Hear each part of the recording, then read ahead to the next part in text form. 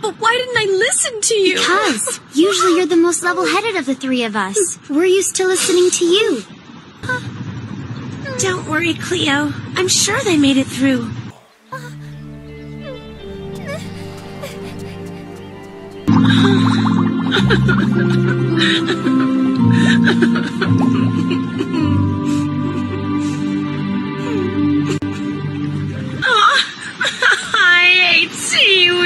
you leave my sister!